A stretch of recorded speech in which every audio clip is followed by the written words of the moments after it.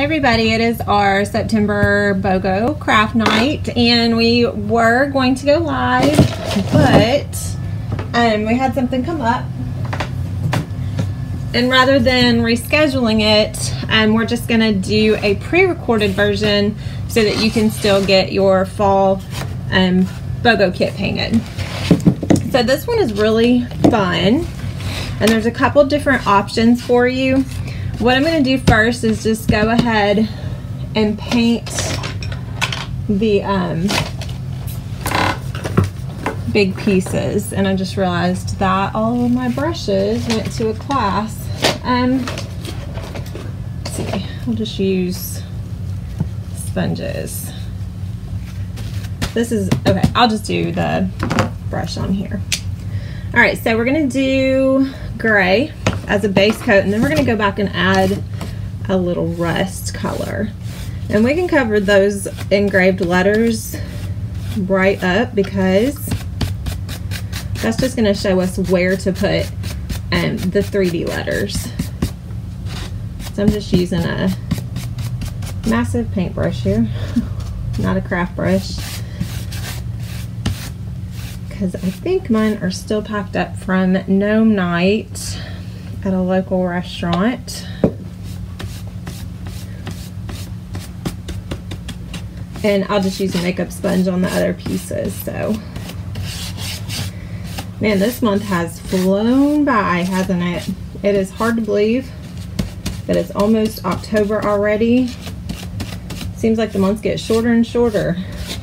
But yeah, it's almost time to vote in another BOGO, and it seems like we just did that. So I am glad that it's almost fall though. We're getting some really nice weather. Okay, so I'm gonna do, um, I'm just gonna use a makeup sponge for the white letters. Which I think you should have at least one, right? And you can use both ends and fold them over and use the side. You can get quite a few colors in one makeup sponge. So I'm just dabbing in that white and then getting all the excess off. So just like that. And then I'm just gonna real quick go over these letters. Just this goes a lot faster on the wood pieces with the makeup sponge, especially the little little pieces and the letters. I like to use brushes on the big ones and sponges on the smaller ones.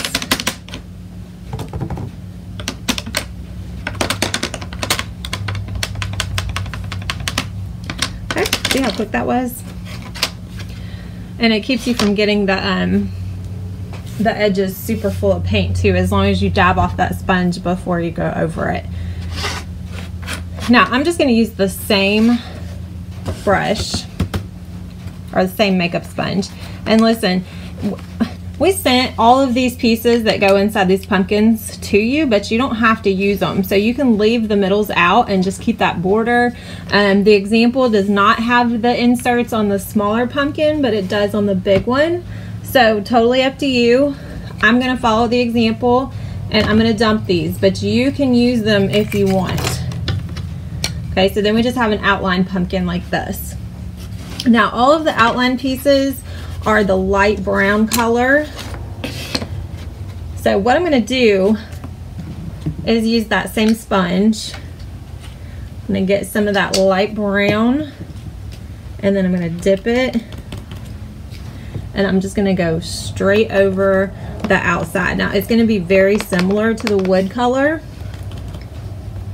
and that's okay. That's what we want.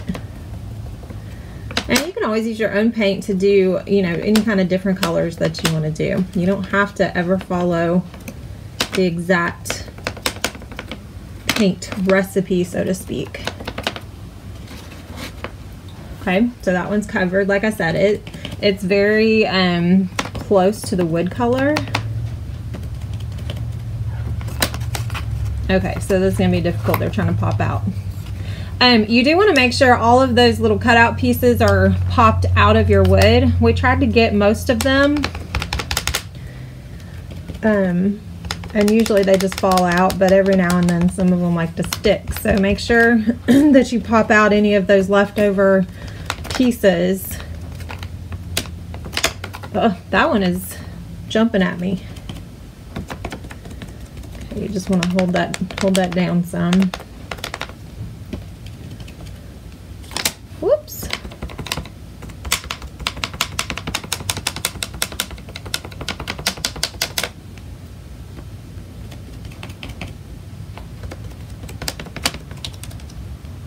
See, there's one of those those middle pieces that got left behind came out with the paint. Okay, so we're gonna let that dry. And let's go over here to our leaves. So the leaves we did um, a multitude of colors or multiple colors. So a little bit of this light green and a little bit of a golden yellow. Um, I'm going to flip this over and use this end of the makeup sponge. And you can kind of double dip both colors if you want. So see how I have the green and the gold. And just kind of start dabbing right across the middle of your piece like that.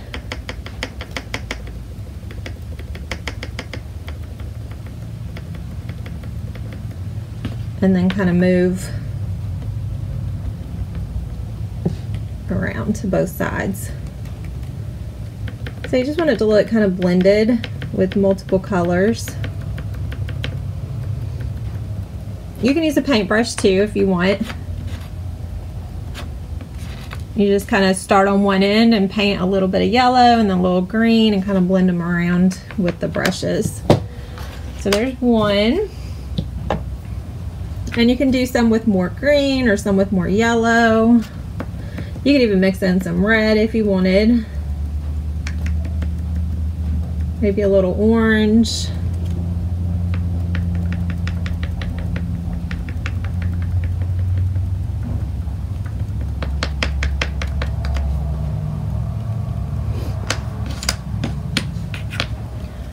Or you could do mostly yellow. So however you want to do it. I just like them to look a little bit different from each other.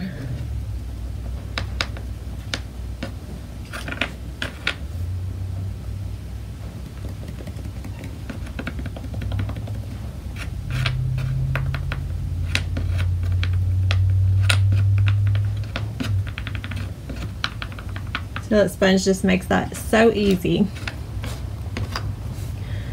All right, so um, I'm gonna just move this. We've already painted it, it's drying, and we just need to paint our base pumpkins. So I'm just gonna slide this right off, just like that, and we can paint underneath. So this is the color that's gonna show through all of these pieces here. So we um, are gonna use a nice teal color on this big pumpkin. And since I forgot to grab my brushes, I guess I'm just going to use another makeup sponge. So I'm just gonna kind of spread this around.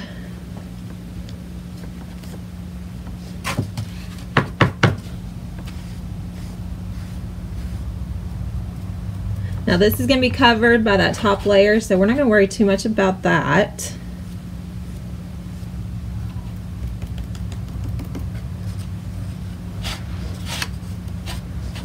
Right, we're gonna let that dry.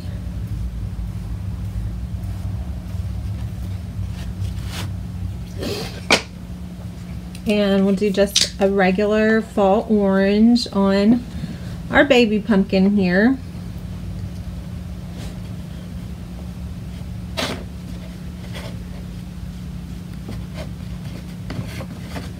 It'd be pretty to do um, like white white and orange or white and teal pumpkins. Those would be that would be pretty too.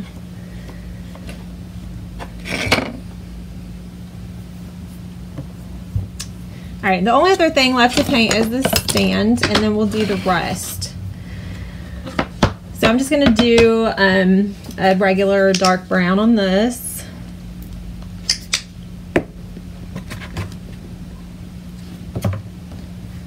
And again, be careful about getting a bunch of paint inside these slots here because that will change how the pieces fit inside of it.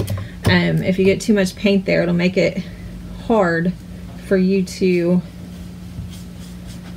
slide that in, slide those pieces into the slots. I picked up a little bit of teal there, I did not mean to do that, but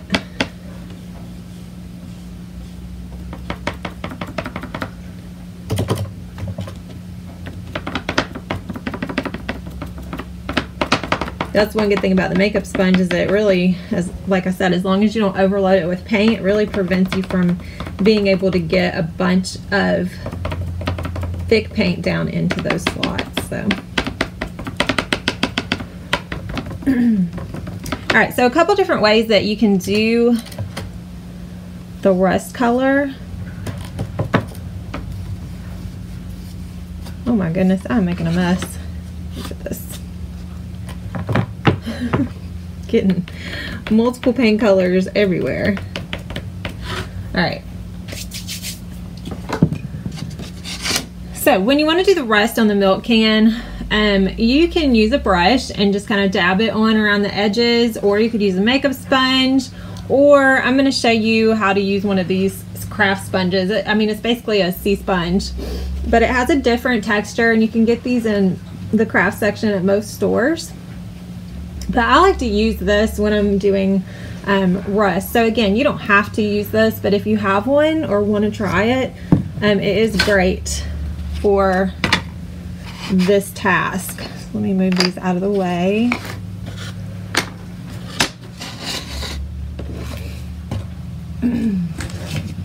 now, I do not have the same color that came in your kit we ran out. So I just grabbed a metallic. So it's gonna look a little bit different than yours.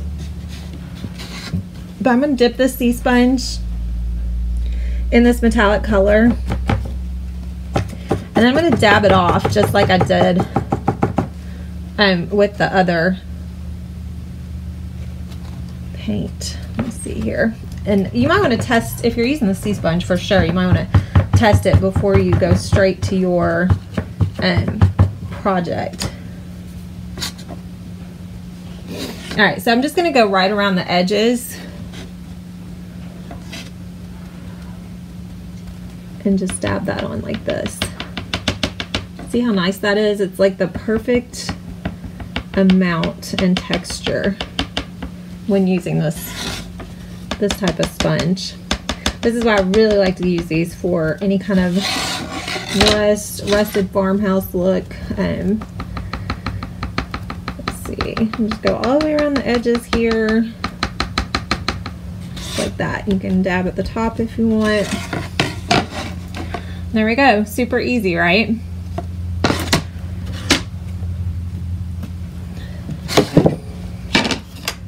And that's pretty much it. We're just gonna, you're gonna glue all these together. So we'll just glue these pieces to the bottom.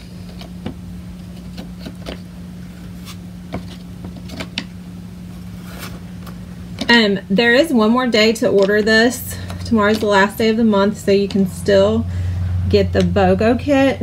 Um, I can't remember what the code is. I think, oh man, i have to look it up. I think it's pinned to the top of our page though.